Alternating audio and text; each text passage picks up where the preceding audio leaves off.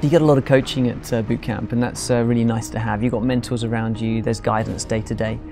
But it's not until you have those disaster days that you really feel the value of boot camp. It gave us so much more than we imagined. Quality is so high within all these teams.